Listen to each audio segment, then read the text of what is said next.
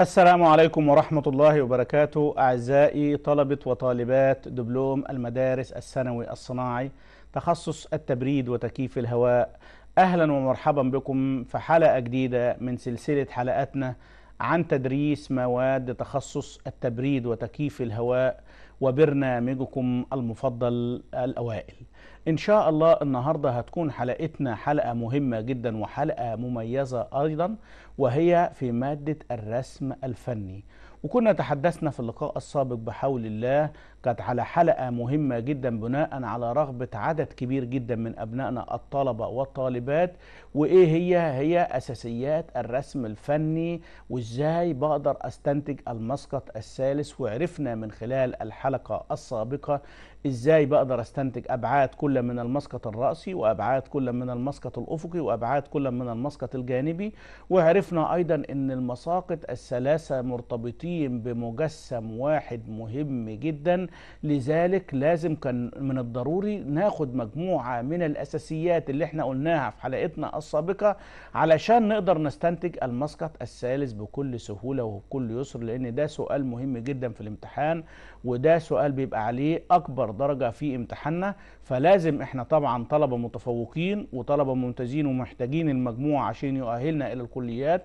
وزي ما إحنا عارفين إن مجموع مادة الرسم الفني بيبقى من 100 درجة فلذلك بنحرص دائما كل الحرص على إننا نحصل على أكبر ما يمكن من درجة الرسم الفني. وده طبعا ما بنقللش من المواد الأخرى ولكن مادة الرسم الفني عليها 100 درجة فنستثمر هذه المادة في الحصول على درجات كثيرة بحول الله. فعرفنا أيضا قواعد العصب وعرفنا أنواع القطاعات وعرفنا قواعد التهشير وعرفنا قواعد الاسطوانات وتطرقنا في بداية أو في نهاية حلقتنا السابقة بحول الله على تمرين من واقع كتابنا المدرسي وهو تمرين على استنتاج المسقط الثالث. بس ما كملناهوش فإحنا هنكمله لحضراتكم النهارده إن شاء الله وهناخد تمارين أخرى بحيث إن إحنا نطبق فيها الأساسيات اللي إحنا شرحناها لكم في الحلقة السابقة. ونقدر من خلالها نستنتج أي مسقط ايا كان سواء كان مسقط رأسي أو سواء كان مسقط عفوا سواء كان مسقط جانبي أو سواء كان مسقط إيه أفقي. طب تعالوا نبص مع بعضنا على التمرين ونعرف المطالب ونعرف شكل التمرين اللي بيقول إيه. تمرين على استنتاج المسقط الثالث زي ما إحنا شايفين. التمرين بيقول لي تمرين رقم ستة بالكتاب المدرسي. الرسم يوضح المسقطين الرأسي والأفقي لقطعة ميكانيكية والمطلوب رسم الآتي بمقياس رسم مناسب. قال لك رقم واحد قطاع رأسي كامل عند المحور AA زي ما إحنا قلنا كده تعالوا كده نبص مع بعضنا. نوع المحور بالراحة. آه هنلاقي المحور ده ماشي كده. وماشي لي. المحور ده على استقامة واحدة؟ هنقول لا مش ماشي على استقامة واحدة. لو ماشي على استقامة واحدة يبقى محور أو أو قطاع رأسي عادي. ولكن ده قطاع متدرج زي ما إحنا قلناه في حلقتنا السابقة أو قطاع ليس على استقامة إيه؟ ليس على استقامة واحدة زي ما إحنا شايفين عندنا هنا كده. ولذلك قال لي قطاع عند إيه إيه؟ أدي القطاع إيه إيه. طب ده القطاع ده نوع إيه؟ برافو عليك. وكلنا بنقول يا مستر ده قطاع رأسي. ليه؟ إيه اللي عرفنا إنه قطاع رأسي كمان. لأن زي ما إحنا شايفين السهم متجه إلى المسقط الرأسي. يبقى إذا هذا بيشير على إن القطاع اللي بيكون موجود عندي قطاع إيه؟ قطاع رأسي زي ما إحنا شايفين. طيب ننتقل من هنا أيضا إلى طالب مني قطاع جانبي عند المحور بي بي. ادي القطاع الجانبي عند المحور بي بي زي ما إحنا شايفين هنا وادي شكل القطاع وده متجه إلى المسقط الجانبي يبقى اذا ده قطاع هنا إيه جانبي. مسقط افقي كامل طالب مني انني ارسم المسقط الافقي إيه كامل. طيب تعالوا مع بعض كده آه نبدأ قبل ما نرسم المسقط الثالث نبتدي رسمنا ال isometric أو رسمت لكم ال isometric. انت مش مطالب برسمه في الامتحان ولكن أنا عامله كناحية تخيلية علشان بعض أبنائنا الطلاب اللي ما عندهاش مهارة التخيل إلى حد ما تبتدي تعرف وتلمس شكل القطعة الميكانيكية والمساقط الثلاثه زي ما إحنا قلناها مرتبطين بمجسم واحد. لما نيجي نبص في المسقط الرأسي أنا شايف القاعدة اللي بيكون موجودة أمامي هنا دي. طب القاعدة دي زي ما إحنا شايفين القاعدة دي موجودة فين؟ في المسقط الجانبي. في الرأسي. ادي هي القاعدة موجودة في الأيزومتريك هي موجودة أمامي. وفي هنا مجرى جزء مقطوع في القاعده بطول 30 وبارتفاع 5 آدي المجرى اللي بيكون موجود عندي ودي ماشية بطول المسقط. طب أما أجي أعرف أقول إيه اللي عرفني إنها ماشية بطول المسقط لحد الآخر؟ حتى في ال isometric مش باينة إنها ماشية في الآخر إلا لما أعدل القاعدة بتاعة ال isometric. طب أنا عرفت منين؟ انزل معايا على المسقط الأفقي. هنلاحظ إن المجرى عندي آدي الشكل بتاعها عبارة عن نقط مختفية النقط دي بتكون موجودة بطول المسقط ولا لأ؟ يبقى إذا ده بيدللي على إن إن هنا أما أجي أستنتج المسقط الثالث ما بستنتجوش من من مسقط واحد فقط. أنا لازم أشوف أبعاده من المسقطين عشان أقف على طوله وعرضه وأعرف شكله إزاي بيكون في المسقط الجانبي. طب المجرى دي لو هي مثلا مش موجودة بطول المسقط هنلاقيها موجودة لحد هنا بطول مثلا معين ويروح قافلها لي؟ موجودة لحد نص المسقط ويروح قافلها إنما هو موجود خط شرط هيدن لحد الآخر من أول المسقط لآخره ده بيدل لي على إن إيه إن موجود عندي هنا زي ما إحنا قلنا المجرى موجودة للآخر. يبقى اذا المجرى دي موصلة لآخر الايه المسقط اللي بيكون موجود عندنا. ننتقل إلى الأسطوانات. الأسطوانة الكبيرة اللي هي باللون الأحمر دي. آدي الأسطوانة هنا اللي هي باللون الأحمر دي. وال phi بتاعتها كام؟ 50 يعني قطرها كام؟ قطرها 50 زي ما إحنا شفنا. طيب آدي ال phi اللي عندي 50 زي ما إحنا شفنا. آدي الأسطوانة عندي موجودة أهي. طب الاسطوانة دي هي ظاهرة لي هنا دايرة زي ما إحنا قلنا بناء على قواعد الاسطوانة. ظاهرة لي هنا مستطيل يبقى هتجيلي في الجنب إيه؟ هنقول يا مستر هتجيلي مستطيل. طيب ننتقل إلى الاسطوانة رقم اتنين والاسطوانة الداخلية. ادي الاسطوانة الداخلية موجودة عندي هنا بس طبعا لما باجي ابص لها في الرسمه أنا باصص من هنا فأنا مش شايفها. فعلشان كده جيت مكانها وعملت إيه؟ نقط. بقول له إن في اسطوانة داخلية أو مشقبية داخلية مستديرة أنا مش شايفها فعملت مكانها نقط هنا. طيب لما نيجي نبص في اسطوانة أخرى متصلة من الاسطوانة رقم اتنين إلى آه، المجرى أو إلى آخر المسقط زي ما إحنا شفنا الاسطوانة دي زي ما إحنا شفنا هنا اللي هي جاية مستطيل هنا وادي الاسطوانة رقم ثلاثة اللي هي الخاصة بيه. يبقى تعالوا مع بعض كده بالراحة نحلل الرسمة. الاسطوانة رقم واحد أدي رقم واحد. الاسطوانة رقم اتنين ادي الاسطوانة رقم اتنين اللي هي النقط هنا. الاسطوانة رقم ثلاثة ادي الاسطوانة رقم ثلاثة بيكون موجودة عندي هنا. في أيضا هنا مجموعة من الاسطوانات أو ست اسطوانات آه، كل اتنين زي ما إحنا شفنا هنا ادي اسطوانتين واحدة خارجية تخويش كده وواحده أخرى ونفس النظام هنا موجودين عندنا في الرسمه زي ما إحنا شفنا. لذلك هو كاتب لي إيه؟ في بعض الطلاب بتسأل تقول يا مستر هو كاتب لي 3 في phi 10 وهنا أيضا كاتب لي 3 في phi 16 معنى كلمة 3 الأول بتدللي على عدد الأسطوانات اللي بتكون موجودة في المسقط. طب لذلك هو جالي على الأسطوانتين الآخرين اللي هم دول اللي إحنا شايفينهم. دول دول ما كتبليش عليهم أبعاد. ليه؟ لأن هي الأبعاد هي نفس الأبعاد اللي موجودة على الأسطوانة اللي هو كاتب عليها. لذلك هو بيقول لي 3 معناها إن تشمل ال- الأسطوانة دي واسطوانتين كمان اللي هم موجودين هنا على نفس الايه الأبعاد. لو الأبعاد اللي عندي مختلفة مش هيكتب هيكتب عليهم أيضا. طيب في أيضا في هنا ثلاثة ده ما هم في اسطوانتين. في اسطوانة داخلية وفي اسطوانة إيه؟ خارجية. لازم نخلي بالنا من حتة مهمة جدا لما نيجي نرسم نشوف السهم عندي بيشير إلى إيه. لما جيت أبص هنا هلاقي إن السهم متجه إلى اللي هو ال phi 10 السهم متجه إلى الاسطوانة الداخلية ما بيتعداش إلى الخارجية. يبقى معنى كده إن هذا البعد أو هذا القطر خاص بالاسطوانة الداخلية. اذا الاسطوانة دي 3 والاسطوانة دي 3 والاسطوانة دي هنا إيه؟ 3 زي ما إيه إحنا قلنا. أدي الثلاث الأسطوانات اللي بيكون موجودة عندي زي ما إحنا شايفين موجودين بالشكل اللي بيكون موجود عندي وأدي الثلاثه الإيه الخارجيين أيضا. فاضل لنا العصب وزي ما إحنا قلنا العصب زي ما زي ما إحنا شايفينه كده مع بعض. العصب بيظهر مساحة في مسقط ادي الشكل المثلثي اللي هو بالازرق ده شايفينه كده؟ هو الشكل ده شكل العصب بس في المسقط الرأسي اللي هو جاي من الجهة هنا كده. وده ما بيظهرش زي ما إحنا قلنا الا في مسقط واحد فقط مش في الاتنين في واحد فقط. طيب تعالوا كده نبص مع بعض كده هنا آه نشوفه في المسقط الأفقي هنشوفه إيه؟ آه شايفينه هنا سمك. يبقى هيجي في الجانب إيه؟ هنقول هيجي سمك برضو طب تعالوا نبص كده ما نيجي نطلعه من الطبيعة آه أو من الأيزومتريك اللي مرسوم أمامنا أدي الشكل المثلثي اللي هو المساح. طب لما أجي أبص له من أعلى من فوق هشوفه هنا سمك أهو اللي هو الجزء ده كده أهو.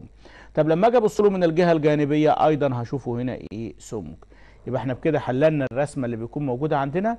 تعالوا بقى نشوف إزاي بنستنتج المسقط الثالث اللي عندي بالراحة كده بناء على الأبعاد. إحنا كده خدنا الإحداث الوهمي بتاعنا عشان برضه نبقى إحنا عارفين. وتعالوا نطلع. أبعاد المسقط الرأسي كام؟ أبعاد الجانبي كام؟ هنقول يا مستر الطول ده كام؟ 50 يبقى اذا ارتفاعه هنا 50 ده عشان نخلي بالنا زي ما إحنا قلنا بناء على القاعدة اللي بتقول ارتفاع الرأسي هو نفسه ارتفاع الإيه؟ الجانبي. طيب وطوله من هنا كام؟ هنقول طوله من هنا 60 لأن طول المسقط ارتفاع المسقط الأفقي كام؟ 60 طب تعالوا نشوف مع بعض أما تطلع كده أهي. يبقى إذا جالي الشكل العام اللي عندي للمسقط أدي الارتفاع هنا جالي 60 في الارتفاع كام؟ 50 تاني حاجة نخلي بالنا منها أما نيجي نرسم النوع ده من الرسومات أو بعد ما أنا حددت أبعاد المسقط وقسمت لوحتي أبتدي أحط المحور. لازم الأول أرسم المحور اللي عندي والمحور رسمناه زي ما إحنا شايفينه هنا موجود في المنتصف هنا. لو محور لو محور مش في المنتصف ما برسموش في المنتصف. زي ما هو موجود في الجهة الأفقية ببتدي أرسمه في الجهة الإيه؟ الجهة الرأسية. طيب تعالوا مع بعض كده طلعنا من هنا كده زي ما إحنا شايفين آه المحور. طيب أنا ببص منين؟ من الجهة الجانبية. عندما أنظر من الجهة الجانبية فأنا هلاحظ القاعدة اللي هي موجودة أمامي هنا. طب إيه هي القاعدة اللي هي ارتفاع زي ما إحنا قلنا 20 يبقى هاجي أنا طبعا شايفها. يبقى هاجي هنا أدي شكل القاعدة بتاعت اللي هو ارتفاعها 20 وعملتها بالشكل اللي بيكون موجود أمامي زي ما إحنا شايفين كده. يبقى دي القاعدة الأولانية اللي هو طولها 60 لأنها هي جاية هنا بطول المسقط اللي هي القاعدة دي. ماشي في 20 اللي هو الجزء ده كده مشيت بيه. ننتقل إلى الأسطوانات الأخرى. ولو أنت تلاحظ إن أنا هنا عامل لك كل أسطوانة بلون علشان نيجي نرسمها هنا بلون تبقى واضحة عملية الاستنتاج اللي عندك. طيب ده الاسطوانة رقم واحد اللي هي الكبيرة وقلنا إن الفاي بتاعتها كام؟ 50 يبقى علشان أرسم الاسطوانة الكبيرة اللي عندي ظاهره لي هنا دائرة جاية لي هنا مستطيل يبقى هتجي لي هنا إيه؟ برافو عليكم هتجي لي هنا مستطيل. طب تعالوا كده مع بعض ناخد الايه الشكل العام. أدي أهو حددنا الاسطوانة وطلعنا بالانعكاس بتاعها. بنبص كده مع بعض أدي الاسطوانة بتاعتي الكبيرة. يبقى ظهرت هنا دائرة ظهرت هنا مستطيل جيلي هنا إيه؟ مستطيل زي ما هي ظاهرة لي بالظبط مفيش فيها أي إيه؟ أي اختلاف بيكون موجود عندي. طيب ننتقل إلى الأسطوانة الأخرى اللي هي باللون الأزرق أو الأسطوانة رقم اتنين اللي ال phi بتاعتها كام؟ 30 وبرضه هنوضح تاني وهنعيد تاني. لما نيجي نبص على الأسهم آدي السهم بيشير أو ماسك في الأسطوانة رقم اتنين يبقى هذا البعد يعني الأسطوانة رقم اتنين. طب ننتقل هنا الاسطوانة رقم اتنين كام؟ مديها لي كام؟ 30 ومديها لي هنا. طبعا دي دائرة جاية لي هنا مستطيل نقط زي ما إحنا شايفين. يبقى هتظهر لي هنا زي ما إحنا حددنا طولها أيضا وهتظهر لي هنا برضو إيه؟ مستطيل نقط زي ما إحنا شايفين باللون الأزرق هنا. طبعا أنت كل ده بترسمه بالرصاص ولكن إحنا عشان كناحيه توضيحية بنرسمه ليك باللون الإيه؟ الأزرق زي ما إحنا شايفين. طيب ادي آه اتجهنا إلى الاسطوانة رقم اتنين. قبل ما اعمل الاسطوانة رقم ثلاثة المجرى لازم اخلي بالي منها اللي إحنا قلنا عليها نازلة بطول المسقط يبقى أنا لما ابص من الجهة الجانبية من هنا هقول له ان في مجرى بتكون موجودة عندي بس هذه المجرى متصلة بطول المسقط هنا.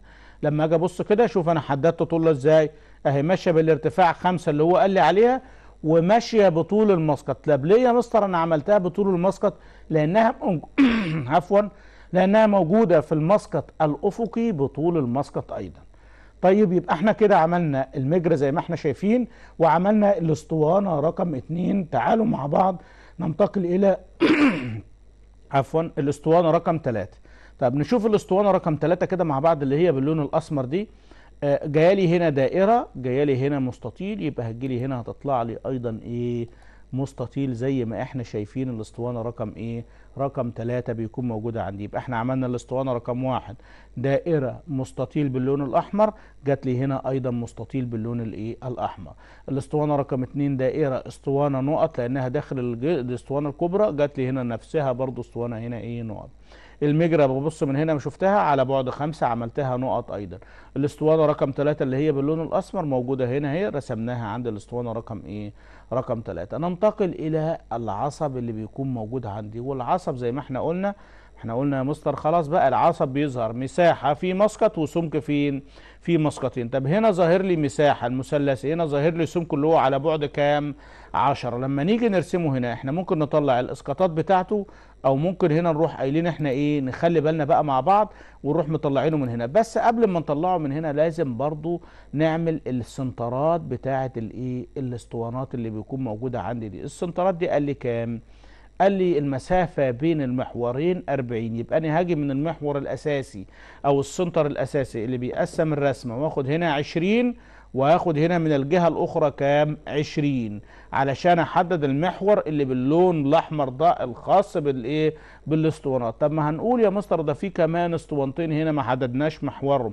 لا هو موجود لأن المحور الخاص بيهم فين؟ في المنتصف. يبقى إذا هو هنا موجود الثلاث محاور اللي بيكون موجودة عندي. طيب تعالوا بقى نطلع كده الجزء اللي عندي ونشوف العصب. ادي طلعنا العصب. آه العصب ظاهر لي هنا مساحة جاي لي هنا سمك وطبعا ظاهر لأن أنا باصص من هنا من الجهة الجانبية فأنا شايف العصب بيكون موجود عندي بالشكل ده. يبقى هنا زي ما إحنا قلنا جاي 10 يبقى اذا من هنا خمسة ومن هنا كام؟ خمسة وطلعت بالعصب زي ما إحنا إيه شايفين عندنا. ده بالنسبة للإيه؟ آه لشكل العصب ظاهر لي مساحة سمك جاي لي هنا إيه؟ سمك. ننتقل إلى الاسطوانات اللي بيكون موجودة عندي. وعندي ست اسطوانات. هم موجودين هنا. اتنين فقط في المسقط الجانبي ولكن هم في الواقع وفي الحقيقة ثلاثة ولكن هنا اتنين لأن في منهم أربع اسطوانات موجودين على محور واحد وبالتالي بيظهروا لي كأنهم إيه اسطوانتين فقط زي ما إحنا شايفين. أدي الاسطوانة الكبيرة ظهر لي مستطيل هنا. وادي الاسطوانة الأخرى ظهر لي مستطيل نقط أيضا برضو. الثانية وراها من الجهة الأخرى ولكن أنا مش شايفها في الرأس. فمنطبقين على بعض لأن خط التماثل أو خط المحور الخاص بيهم بيبقى على إيه؟ على محور واحد زي ما إحنا شايفين. طيب ننتقل إلى إيه كمان؟ إلى الاسطوانة. هنا آه زي ما إحنا شفنا دي هتبقى نفسها برضو. أدي الاسطوانة مستطيل وادي الاسطوانة الأخرى نقط متصلة للآخر فهيظهروا لي بنفس الشكل. تعالوا مع بعض كده آدي الأسطوانة الأولانية. طلعت بيها من هنا كده فهتظهر لي مستطيل. بس هيجولي بقى هنا في المسقط الجانبي ثلاثة أسطوانات كبرى وثلاثة صغرى ليه؟ لأنهم مش على محور تماثل واحد من الجهة الجانبية. يعني اما أجي أبص من الجهة الجانبية هنا أنا شايف دي لوحدها وشايف دول لوحدهم وشايف دول لوحدهم مش منطبقين على بعض. وبالتالي هيظهروا لي في المسقط الجانبي ثلاثة مساقط زي ما إحنا شايفين. طب ننتقل من هنا كده زي ما إحنا شايفين آدي المسقط آدي شايف الشكل الأسطوانة الأولى وادي الأسطوانة الثانية اللي هي جاية لي هنا أيضا مستطيل بالشكل بتاعها. وادي الأسطوانة رقم إيه؟ رقم ثلاثة ده بالنسبة للإيه؟ للمساقط الثلاثه اللي بيكون موجودة عندي وتعالوا كده نبص مع بعض. آدي القاعدة اللي عندي آدي القاعدة اللي هي موجودة هنا باللون الأسمر وآدي الأسطوانة اللي باللون الأحمر الكبيرة ظاهره آدي الأسطوانة باللون الأحمر وآدي العصب اللي هو هنا ظاهر لي سمك جالي هنا العصب وباقي الأسطوانات الداخلية زي ما إحنا عملناها بناء على القواعد مختفية ولكن موجودة داخل الإيه؟ داخل المسقط. ده جزء مهم جدا عندي في الإيه إزاي أستنتج المسقط الثالث بناء على القواعد اللي أنا درستها أو اللي أنا عرفتها عندي. هننتقل من مرحلة استنتاج المسقط الثالث إلى مرحلة القطاع. وطبعا لما نيجي نقول مع بعض كده ونعمل في عجالة سريعة من الحلقات السابقة ونقول القطاع المقصود به هو قطع في الأجزاء أو الأشياء أو القطع الميكانيكية بغرض إظهار الأجزاء المختفية اللي بيكون موجودة عندي وبيكون عملية القطاع في الأجزاء المصمتة فقط أو خطوط التهشير بتكون في الأجزاء المصمتة فقط والأجزاء المختفية أو الأجزاء الفراغات لا تهشر وزي ما إحنا قلنا مرارا وتكرارا إن خطوط التهشير لابد أن تكون بزاوية 45 درجة. خطوط التهشير لابد أن تكون متساوية بقدر الإمكان. خطوط التهشير لابد أن تكون أخف من خطوط المسقط بقدر الإمكان. خطوط التهشير ما فيش خطوط بتقطعها بقدر الإمكان يعني بمعنى صح بتكون في الأجزاء المصمتة وما فيش أي حاجة بتقطعها فقط. تعالوا نفس الرسمة اللي إحنا أو نفس التمرين اللي عندنا هنبتدي من خلاله نشوف القطاع الرأسي والقطاع المتدرج اللي هو طالبه مننا. طب نبص كده مع بعض ونشوف شكل القطاع بيقول لي إيه. أدي الشكل العام للرسمة. تعال بص هو محدد لي هنا القطاع أنا ماشي بيه أهو. أدي الشكل القطاع. ده قطاع إيه؟ هنقول يا مستر ده ده قطاع متدرج عند إيه إيه زي ما هو قايل لي عليه. طيب أنا هنا جبنا يبقى اذا هو ده قطاع إيه الأول؟ هنقول قطاع رأسي. يبقى عملية التهشير هتتم في الشكل الرأسي اللي إحنا شايفينه ده. وقبل ما عملية التهشير تتم في القطاع الرأسي تعالوا مع بعض اما نقطع الشكل ده كده ونشوف إيه اللي هيحصل. لو إحنا جينا مشينا من هنا كده قطعنا طب ده جزء مصمت اذا يبقى في تهشير هنا. نركز بقى مع بعض. آه دخل على الأسطوانتين دول اللي هم ده هم.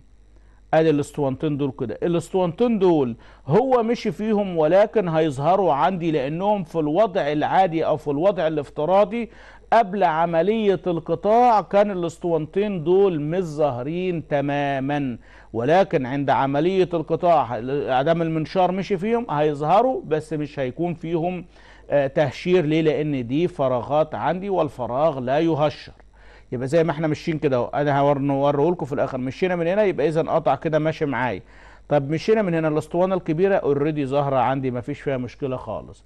الأسطوانة رقم اتنين آه مش هي كانت هنا مختفية؟ يبقى اذا لو أنا مشيت فيها والمنشار مشي فيها اللي هيسرع عليها هيسرع على نفس الأسطوانتين اللي في الأول اللي إحنا عملناهم هنا. يبقى هتظهر عندي هنا ولكن مش هيتم تهشير من خلالها. طيب الاسطوانة رقم اتنين رخرة هتظهر أيضا. الاسطوانة رقم تلاتة عفوا هتظهر أيضا رخرة لأن المنشار مشي إيه؟ طب تعالوا كده نبص مع بعض كده. آه إيه اللي حصل بقى هنا بعد عملية القطاع؟ بس ده بالمناسبة ده أنا بوضحه لك فقط ده مش قطاع متدرج ده قطاع على قطاع رأسي على استقامة واحدة. بس عشان ناخد منه الأجزاء اللي إحنا عاوزين لما جيت أبص آه الجزء ده كده يبقى اذا ده يحدث فيه تهشير آه ومشيت في الأسطوانات. شوف الأسطوانات الداخلية بعد عملية القطاع حصل لها إيه؟ حصل لها إنها ظهرت. يبقى اذا الأسطوانات دي هيحصل لها إيه؟ الأسطوانات الداخلية اللي بيكون موجودة عندي هتظهر امامي ليه؟ بس مش هيحصل فيها تهشير طب مشينا من هنا وأنا مشيت طوالي. لو أنا مشيت طوالي كده بقى يبقى هيبان لي زي ما المنظور اللي عندي ظاهر أمامي هنا. ولكن إيه اللي حصل؟ أنا مشيت لا ده أنا جيت كمان وكسرت وقطعت في الأسطوانة دي كمان. يبقى أصبح الجزء اللي هيظهر يبقى هو له مغزى عشان يظهر الأسطوانة دي رخرة عندي في عملية القطاع. طيب تعالوا الأول قبل القطاع نمسح الأجزاء اللي, اللي هتعوق عملية التهشير. شفنا شكل المسقط كده قبل عملية القطاع. كانت الدوائر دي مختفية من هنا وكانت دي مختفية من هنا وكانت دي مختفية من هنا. لما مشينا فيها كلها أصبحت ظاهرة ولا لأ؟ آه. ومسحنا كل شيء بحيث إن المنطقة آه اللي هنحصل فيها أو هيحدث فيها عملية قطاع بتكون عملية أو نظيفة تماما من أي خطوط ومن أي إيه محاور عندي. طيب نبص كده مع بعض ونشوف هنا عملية القطاع بعد ما هشرنا. آه إيه اللي حصل؟ نبص كده مع بعض إن خطوط التهشير هنا الفراغات اللي إحنا قلنا عليها اللي هي متعلم عليها هنا باللون البني في المنظور التوضيحي ده. هنا ده أدي الجزء ده. الاسطوانتين دول طبعا دول ظاهرين عندي بس مش هقشر فيهم لأنهم فراغ. مشيت في الجزء ده كده كله أدي مشيت في الجزء ده كله موجود هنا. الاسطوانات دي ظهرت طبعا لازم تظهر. وهنا نفس النظام. مشيت كده ونزلت في الجزء ده. طب ما هتقول لي يا مستر ما إحنا ممكن نكون مشينا في جزء من العصب. طب ما إحنا قلنا إن العصب بالمساحة ما بيتهشرش أو إذا كان القطع موازي للعصب فإن العصب لا يهشر. حتى لو أنا ماشي على استقامة واحدة ومشيت في العصب كاملا أيضا العصب مش هيتم تهشيره عندي زي ما إحنا شايفين. تمام؟ طيب تعالوا ننتقل إلى جزء آخر وهو القطاع الرأسي. القطاع قصدي الجانبي عفوا. طب كده نبص مع بعض هو طالب مني هنا إيه؟ قطاع جانبي عند بيبي وايه اللي عرفني قطاع جانبي هنقول يا مستر لأن السهم متجه إلى المسقط الإيه؟ الجانبي. يبقى إحنا وصلنا لمرحلة إن إحنا ممكن من خلال إن ما يكتبش عندي داخل المساقط الثلاثه مطالب وأقدر أستنتج وأقدر أعرف عملية القطاع كمان. طيب أدي الشكل الأيزومتريك العادي. هو هنا طالب مني قطاع إيه؟ لما كان طالب قطاع رأسي كنت بطلع كنت بقطع بطول المسقط الرأسي زي ما إحنا شايفين هنا. ولكن هنا هو طالب قطاع جانبي بمعنى كده إن أنا هقطع كده في الشكل ده كده هقطع كده بشكل جنبي. والجزء ده كده هروح رميه وهشوف إيه؟ آه طب ما لما أقطع الجزء ده كده وأرميه؟ يبقى الجزء اللي أنا هرميه من الم... من المنطقة دي كلها ما فيهاش العصب. يبقى لو أنا فاهم في الأول وطالب مني قطاع ما بعملش العصب من أصله. الله طب امال إيه يا مستر؟ هنقول المجرة دي هتبان اللي هي باللون الأحمر دول والثلاث أسطوانات اللي بتكون موجودة عندي دول هيتمسحوا لأن أنا ما مشيتش فيهم أساسا. لو أنا بعد عملية القطاع ما مشيتش فيهم أساسا والاسطوانات الداخلية الكبيرة هتظهر. ادي الكبيرة اللي هي باللون الأحمر هتظهر وادي الاسطوانة اللي هي باللون الأزرق أيضا المفروض إنها هتظهر والاسطوانة الصغرى أيضا لحد المجرى هتظهر. هم دول فقط اللي هيبقوا موجودين داخل المسقط الإيه؟ داخل المسقط الجانبي عند عملية القطاع. يبقى اذا لو أنا فهمت عملية القطاع هقدر من خلاله أرسم أو أوفر على نفسي عناء رسم الأجزاء وأرجع أمسحها تاني. طيب تعالوا كده نشوف بعد آه بص بعد ما عملنا عملية القطاع بقى في الأيزومتريك إيه اللي حصل. شوف الجزء اللي باللون الأحمر ده اللي أنا مظلله باللون الأحمر ده هو ده الجزء المصمت اللي هيتهشر فيه فقط. يبقى إذا نشوف أنا رميت المنطقة دي كلها باللي فيها بالعصب بالأسطوانات بكل حاجة. يبقى إذا هو الجزء ده اللي هيظهر لي. المجرى هنا المفروض تظهر لي من تحت. تعالوا كده نبص مع بعض. آه إيه اللي حصل؟ مسحت كل اللي إحنا قلنا عليه وظهرنا الأسطوانات اللي المنشار هيمشي فيها فقط. ليه يا مستر مسحناها؟ لأن زي ما إحنا قلنا إن مفيش خطوط بتقطع خطوط التهشير اللي عندي. فكان من الضروري مسح هذه إيه؟ الدوائر. يبقى اللي هو الجزء ده اللي هيتهشر اللي هو الجزء ده مفيش حاجة هنا المصمطة والجزء هنا برضو إيه؟ هيتهشر. آه زي ما إحنا شفنا كده امامنا طيب أمال الجزء الداخلي ده؟ الجزء الداخلي ده ظاهر اوريدي ولكن ده مفيش فيه تهشير ليه؟ لأنه فراغ عندي. ده بالنسبة لإيه؟ للشكل العام اللي عندي أو للشكل الايزومتريك اللي عندي وشفنا عملية الإيه؟ القطاع اللي بيكون موجود عندي. إحنا كده خدنا آه، تمرين من واقع كتابنا المدرسي وعرفنا من خلال التمرين أول حاجة إزاي أستنتج المسقط الثالث آه، تاني حاجة إزاي أعمل قطاع في المسقط الجانبي ثالث حاجة إزاي أعمل قطاع في المسقط الرأسي ولازم نخلي بالنا بنقول لأبنائنا الطلبة والطالبات وبنوضح مرارا وتكرارا إذا طلب قطاع في أي مسقط من المساقط فاني لابد قبل ما أرسم الرسمة أعرف الأجزاء المختفية والأجزاء اللي هي مش هتبقى موجودة داخل المسقط بعد عملية القطاع وما برسمهاش من أصله. ليه؟ علشان أوفر عندي الوقت وأوفر عندي نظافة اللوحة لأن ايا كانت اللوحة وأنا رسمتها وفي بعض طلابنا بيبتدي يرسموها ويجي يمسحوا اللوحة أو يجوا يمسحوا بعد عملية القطاع بيكون الشكل الجمالي بتاع اللوحة مش كويس وبالتالي بتنقص درجات من غير وأنت تكون فاهم. لذلك إحنا بنوصي إن أنت لما تفهم عملية القطاع ابتدي الأول شوف الحاجات الظاهرة وابتدي ارسمها ظاهرة والحاجات اللي مش هتترسم أصلا قبل عملية القطاع ما بعملهاش من إيه؟ بعد عملية القطاع مش هعملها من اصله تعالوا ننتقل إلى تمرين آخر من واقع كتابنا المدرسي ندعم فيه اللي إحنا قلناه ده بالتفصيل ونشوفه ونشوف أيضا إزاي بنستنتج المسقط الثلاثه وبنعمل عملية قطاع أيضا. نبص كده مع بعض في التمرين عندنا بيقول لي هنا إيه؟ ادي تمرين على استنتاج المسقط الثالث من واقع كتابنا المدرسي والتمرين ده هو أول تمرين في كتابنا المدرسي اللي عندنا. لذلك بيقول لك إن الرسم يوضح المسقطين الرأسي والأفقي لإيه؟ لقطعة ميكانيكية والمطلوب رسم الآتي بمقياس رسم إيه مناسب. رقم واحد طبعا لما نيجي نقول من غير ما اكتب كده نعرف آه هنقول يا مستر طالب مني قطاع رأسي عند إيه إيه عرفنا منين؟ لأن الأسهم متجهة إلى أعلى وجاية بخط أفقي طويل يبقى ده اذا قطاع رأسي. طب لما نيجي نبص كده طالب قطاعات تانية آه هنقول طالب قطاع جانبي عند بي بي لأن السهم السهم متجه إلى ال- آه، المسقط الجانبي اللي عندي ويبقى اذا كده أعرف إنه طالب في الرسمة اللي عندي هنا إيه قطاعين. قطاع رأسي كامل عند A A زي ما إحنا قلنا. آه وننتقل إلى قطاع جانبي أيضا عند B B قطاع أفقي أو مسقط أفقي كامل. طيب تعالوا كده مع بعض نشوف شكل ال isometric اللي عندي إزاي برسمه. أو أنا طبعا أنا قلت لأبنائنا الطلبة والطالبات الأيزومتريك أنت مش مطالب برسمه.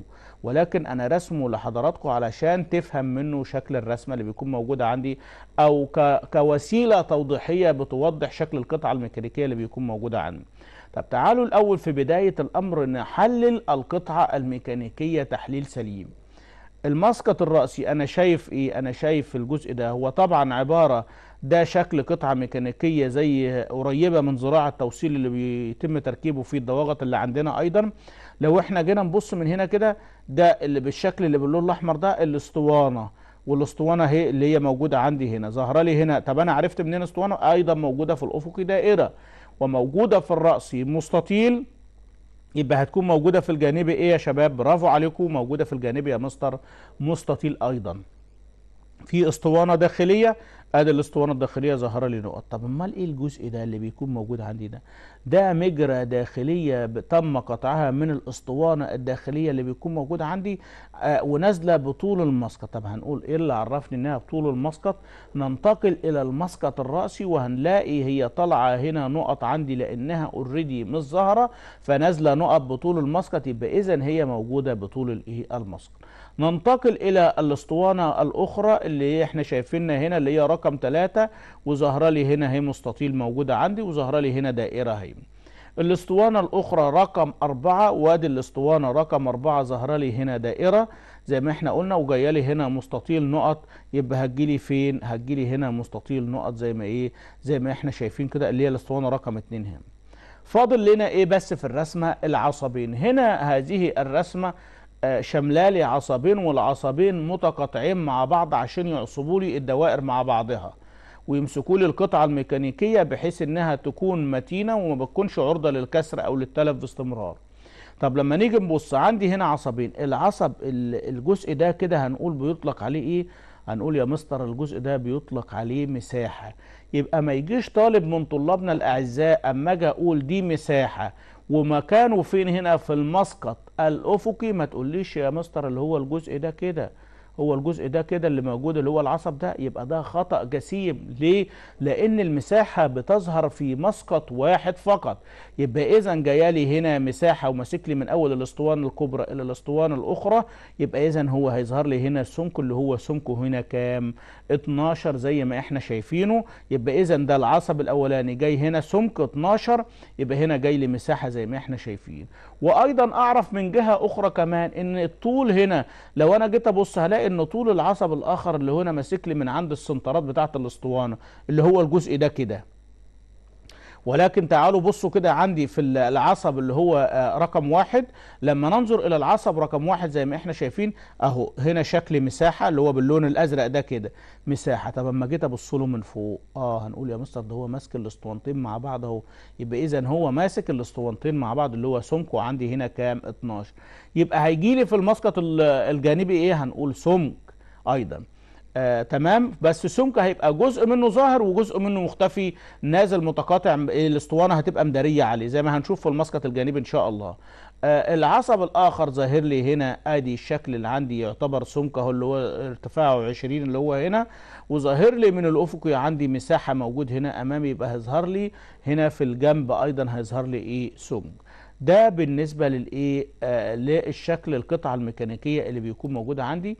تعالوا بقى إزاي نستنتج المساقط الثلاثه اللي بيكون موجودة عندي بناء على الإحداثيات اللي إحنا عاملينها مع بعضنا. وعاوزين نحدد الطول هنقول لك الطول عندي هنا كام؟ آه هنقول يا مستر الطول هنا جبناه كام؟ 60 يبقى اذا طوله هنا. زي ما إحنا شفنا كده طوله 60 لأن الارتفاع هو نفسه ارتفاع المسقط الرأسي. طيب وهنقول هنا كام؟ آه أما نيجي نبص هنا هنقول مفيش بعد هنا مكتوب أو محدد. طب أنا أعرفه منين؟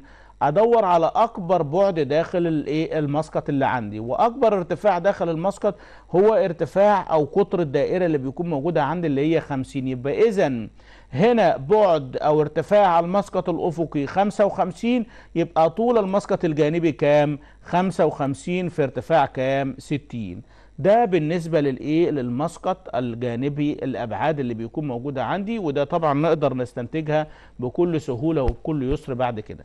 طيب تعالوا ننتقل إلى إيه؟ إلى الجزء الآخر. طب إحنا حددنا وقلنا لأبنائنا الطلبة والطالبات إن تاني حاجة بعد ما أجيب ال frame بتاع المسقط الجانبي أحدد ال center line أو المحاور الخاصة بالإيه؟ بالرسم. حددت المحور اللي عندي وهنا المحور بيبقى في المنتصف فأنا حددت المحور على طول فين؟ في المنتصف زي ما بيكون موجود أمامي. طيب أنا عاوز أرسم إيه؟ هنقول عاوزين نرسم المسقط الجانبي. فاني هبص للرسمة دي من الجهة الجانبية. هبص له من الجهة الجانبية. عشان يهمني جدا إن أنت الجهة اللي بتبص منها أو بتنظر منها تستنتج منها. أنا ممكن أبص من الجهة الجانبية من هنا وممكن أبص من الجهة الجانبية من هنا على حسب ما يحدد لي ولكن في هتختلف في بعض الأسطوانات. في بعضها هتبقى مختفية وبعضها ظاهره والعكس صحيح في الجهة الإيه؟ الأخرى. طيب لما نيجي نبص من هنا آدي الأسطوانة الكبيرة الأول اللي هي كام؟ 55 في ارتفاع 60 دي الأسطوانة الكبيرة. ظاهره لي هنا دائرة. جالي هنا إيه؟ مستطيل. هنقول يا مستر ما هي الفريم الكبير بتاع المسقط الجانبي. يبقى اذا هي دي استنتاج المسقط الأول عندي. ظاهره لي للأسطوانة. ظاهره لي هنا دائرة. جايلي هنا مستطيل. يبقى جايلي هنا إيه؟ أيضا مستطيل زي ما إحنا شايفين بالشكل اللي بيكون موجود أمامنا. ننتقل إلى الأسطوانة رقم اتنين اللي هي باللون الأزرق اللي بيكون موجود عندي هنا. وطبعا الأسطوانة رقم اتنين زي ما إحنا شايفين آه جايالي هنا آه دائرة جايالي هنا نقط. يبقى هتجيلي هنا إيه؟ هنقول يا مستر هتجيلك هنا نقط ومستطيل أيضا. يبقى أنا حددت عندي الطول بتاعه أهو. وعن طريق الانعكاس بالزاوية 45 آه حددت الأسطوانة رقم اتنين وظهر لي نقط زي ما إحنا شايفين بالشكل اللي بيكون موجود أمامي. طيب ننتقل إلى المجرى. ما هو طبعا كل حاجة لازم أجيبها. المجرى هنا أهي زي ما إحنا شايفين. باجي بقى هنا بحدد طولها اللي هي الطول بتاعها 8 يبقى من هنا 4 ممكن واحد يقول لي يا مستر أنا بعرف أستنتج من غير أنا بعمل الشكل ده أو الإحداثي ده اللي هو بالزاوية 45 ده وهمية علشان خاطر أوضح لأبنائنا الطلاب اللي عندهم ضعف في استيعاب المسقط الجانبي. دي بتسهل علينا شوية في عملية استنتاج المسقط الجانبي اللي عندي. طب قال لي دي 8 يبقى ممكن أجيب إن هو 4 وممكن أجيب إن هو 4 أهو وأروح أنا عامل الايه المجرى اللي بيكون موجوده عندي. يبقى اذا أنا عملت الأسطوانة الكبيرة وعملت الأسطوانة الصغيرة وعملت المجرى. يبقى أنا خلصت من الجزء الأولاني بتاع الايه المسقط الجانبي. ننتقل إلى الجزء الآخر وهو صورة طبق الأصل دي لأنه عبارة عن أسطوانات. والاسطوانة الكبيرة اللي هي دي اللي هي 42 ظاهرة لي هنا إيه؟ دايرة. وجاي لي هنا مستطيل يبقى هتجي لي هنا مستطيل. يبقى أنا هروح جاي محدد طول زي ما إحنا شايفين. بس بقى نخلي بالنا آه إيه اللي حصل هنا؟ إشمعنى أنا ما طلعتش بالاسطوانة دي لحد الآخر؟ هنقول لأن طولها هنا كام؟ 40 يبقى لازم تطلع مستطيل بنفس الطول اللي بيكون موجودة عندي هنا. ما بطلعش بالطول آآ آآ باختياري. لا ده لازم يكون عندي الارتفاع حاططهولي في قلب الرسمة اللي بيكون موجودة عندي وموضحهولي دي الأسطوانة رقم إيه الأسطوانة رقم تلات أو رقم واحد من الجهة الأخرى. ادي الاسطوانة الأخيرة اللي هي مدين الآر بتاعتها 12 وبالمناسبة لازم نوضح لأبنائنا الطلبة والطالبات جزء الفرق بين ال phi وبين ال R. آه دي بتفرق معايا في عملية الرسم فقط. لما يديني كلمة R وهي تعني radius أو نصف القطر اللي بيكون موجود عندي وبفتح القيمة اللي موجودة أمام ال R. يبقى هو لو قال لي R 12 يبقى أنا هفتح البرجل 12 ولكن على العكس إذا أعطى على الأسطوانة phi مثلا 42 دي معناها القطر كامل وأنا علشان أفتح البرجل زي ما أنا عارف لازم أفتح بنصف القطر ما بفتحش بالقطر كاملا. لذلك من الضروري لو موجود phi أفتح نص القيمة إيه اللي موجودة؟ يعني دي phi 55 يبقى هفتح البرجل 27 ونص. ودي R 16 يبقى اذا هفتح دي كام؟ 16 لأن دي R و R دي تعني نصف القطر. يعني بيقول لي افتح القيمة ديا. إنما هنا مديني قطر الدايرة من أولها لآخرها. فاني لو فتحت البرجل 55 هيديني الأبعاد double عندي فهيديني بعد الدايرة بدل 55 هيديني 100 وايه 110 طب ننتقل إلى الدايرة الأخرى اللي هي R 12 هروح أنا جاي. هي أيضا ظاهرة بالظبط هنا مستطيل ظاهرة هنا دائرة جاية لي هنا مستطيل نقط يبقى هتجي لي هنا من ابعاد ده أيضا مستطيل إيه؟ نقط. أديني حددتها اللي هي باللون الأحمر هنا زي ما إحنا شايفين. يبقى إحنا كده عملنا كل الحاجات اللي موجودة في قلب المسقط فيما عدا الأعصاب. أنا عندي عصبين. نبتدي بعصب عصب. العصب الأولاني اللي هو سمكه هنا 12 وهو المساحة من أول الدايرة الماسك لدي لحد تحت خالص أو يتلاقى مع العصب الآخر يبقى تعالى مع بعض كده هنا ننتقل إلى العصب وحددنا طوله. آه ورحنا جايين. بص بقى نخلي بالنا زي ما أنا قلت لك أنا باصص من الجهة اللي هنا فأنا شايف جزء من العصب ظاهر اللي هو باللون الأسمر الظاهر ده. والجزء الآخر نازل لحد الارتفاع 20 عندي أو لحد ما يتلاقى مع العصب الآخر هيبقى مختفي. ليه يا مستر مختفي؟ لأن الأسطوانة مدارية على الجزء الباقي منه. الأسطوانة دي لذلك هو جاي هنا ظاهر وجاي هنا من الجزء بعد الأسطوانة ظاهر لي هنا إيه؟ مختفي زي ما إحنا شايفين. ننتقل إلى أن يتقاطع مع العصب الآخر اللي أنا هعمله لحضراتكم دلوقتي. أدي العصب الآخر زي ما إحنا شايفين اللي هو باللون البني ده. ظاهر لي هنا مساحة وجاي لي هنا سمك يبقى أنا هاجي بسمك عندي كده لو إحنا جينا نبص آه ده ماسك لي منين؟ من أول الأسطوانة الكبيرة لحد الأسطوانة الصغيرة. فأنا همشي بنفس ال level أول 20 اللي بيكون موجود عندي وطلعت أدي ال 20 ومن أول الأسطوانة الكبيرة لحد الأسطوانة الصغيرة. يبقوا برضو من هنا من أول الأسطوانة الكبيرة لحد الأسطوانة الصغيرة. بس ده مش كده وبس. هنقول ده داخل الاسطوانة مدارية عليه من جوه حاله حال العصب الآخر علشان يتقاطعوا مع بعض زي ما إحنا شايفين وإيه ويعصبوا لي الرسمة أو القطعة الميكانيكية اللي بتكون موجودة عندي زي ما إحنا شايفين ده بالنسبة لإيه؟ لاستنتاج المسقط الثالث للقطعة الميكانيكية اللي بتكون موجودة عندي طيب تعالوا ننتقل إلى جزء مهم وده شكل طبعا الأيزومتريك. أنا باصص من هنا شايف الجزء اللي عندي هنا كده وشايف العصبين من هنا وشايف بعض الأجزاء زي ما إحنا حددناها لكم. طيب تعالوا ننتقل إلى إيه؟ عملية القطاع. هو طالب مني الأول قطاع فين؟ هنقول يا مستر هو طالب مني قطاع عند إيه؟ إيه. طيب بص إيه إيه كده هنا عندي. لو إحنا جينا نبص أهو طالب مني القطاع هنا. طيب تعالوا نشوف الأيزومتريك أنا هقطعه كده. فأنا اما أقطع الجزء ده كده من هنا إيه اللي هيحصل؟ بصوا كده معايا آه إيه اللي حصل؟ إن أنا قطعت في النص اللي عندي كده فأصبح الاسطوانات الداخلية اللي بتكون موجودة عندي ظاهرة. فأنا بقول لأبنائنا الطلبة والطالبات مرة أخرى لو أنت بترسم وعارف إن في قطاع فأظهر لي الاسطوانات دي مباشرة وما تدخليش بالعصب لحد الآخر كده لأن ما فيش خطوط بتقطع خطوط التهشير فده كده كده هيتمسح. لو إحنا جينا نبص الجزء المصمت اللي هيحدث فيه عملية التهشير اللي هو باللون البني ده كده أدي الجزء ده هيبقى هنا. والجزء الآخر اللي هو موجود هنا ده هيبقى هنا برضه هيظهر. والمجرى هتظهر عندي لأن أنا قطعت بس أنا ما هشرتش فيها. وأيضا هننتقل إلى الجزء الآخر. أدي الأسطوانة هنا دي already دي ظاهرة. الأسطوانة الأخرى هتجيلي هنا. بدل ما هتبقى مختفية هتجيلي هنا إيه؟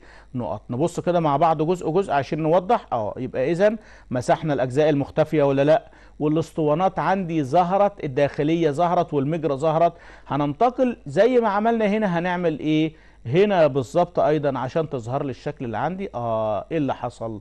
يبقى اذا إحنا كده عملنا الأجزاء المصمطة اللي المنشار مشي فيها أو الحد القاطع مشي فيها أصبحت منطقة خالية تماما علشان ما فيش خطوط بتقطع خطوط التهشير يبقى أما نيجي نبص كده آدي الشكل اللي عندي الجزء ده وهنا الجزء ده اللي هيحدث فيه تهشير طب ممكن طلابنا الأعزاء تقول يا مستر إحنا ما هشرناش في الجزء اللي ليه؟ ما إحنا قلنا مرارا وتكرارا إن القطع موازي للعصب زي ما إحنا شايفين فإن العصب لا يهشر أو بمعنى أصح ما فيش تهشير في المساحة اللي عندي. لذلك بيكون التهشير عندي فين؟ في السمك فقط. فهتلاقي الجزء عندي ده وهتلاقي الجزء ده ظاهر وبصوا كده عندي آه إيه اللي حصل؟ زي ما إحنا أنا لوناها بس عشان نوضح بس كوسيلة توضيحية لأبنائنا الطلبة والطالبات يشوفوا شكل عملية القطاع. أدي الجزء اللي هشرنا فيه المصمت من هنا أدي الجزء ده من هنا وأدي المجري هنا ما بهشرش فيها بس لابد أن تكون ظاهرة. عملناه. وأدي الجزء الآخر اللي هو المصمت اللي هيتهشر فيه. أهو جالي من هنا كده والجزء ده اللي هو العصب المساحة. ما جيتش يمت والجزء الآخر اللي هو جالي من هنا من الأسطوانات واللي باللون البامب ده أو اللي هو المفروض إنه يكون باللون الأبيض في ورقة الرسم عندي ده هيكون مختفي عندي أو هيكون عندي ظاهر ولكن مش هيحدث فيه عملية التهشير. ليه؟ لأن ده عبارة عن إيه؟ عبارة عن فراغ. تمام؟ طيب آه، نبص بقى إلى جزء آخر مهم وهو عملية القطاع في المسقط الجانبي. طب لما نيجي نبص هنا هو طالب مني قطاع إيه؟ لو إحنا جينا نبص هنقول قطاع جانبي. وهذا القطاع الجانبي قال لي عند إيه؟ عند B B. طيب لما أجي أح يحدث عندي عملية قطاع عند B B زي ما إحنا شايفين عاوزين نقطع الرسمة اللي عندي عاوزين نقطع الرسمة اللي عندي من الجزء ده كده. طيب نبص كده مع بعض على شكل ال isometric لما أقطع من الجزء ده. آه إيه اللي حصل؟ مفيش عندي غير الاسطوانة الصغرى هي اللي ظهرت بس والباقي كله إيه؟ مش هيظهر. يبقى بص عندي كده آه إيه اللي حصل؟ آه، شفنا الشكل العام بعد عملية القطاع في المسقط الإيه؟ الجانبي. ويبقى بكده إحنا آه، خدنا من خلال حلقتنا عرفنا إزاي نستنتج المسقط الثالث مع عمل قطاع وعرفنا القطاع الجانبي والقطاع الرأسي مع تطبيق على بعض الأساسيات اللي إحنا خدناها في حلقتنا السابقة. أتمنى من كل أبنائنا الطلبة والطالبات أنهم يكونوا استفادوا من حلقتنا. على أمل أن نلقاكم إن شاء الله في حلقات أخرى. لكم تحياتي والسلام عليكم ورحمة الله وبركاته.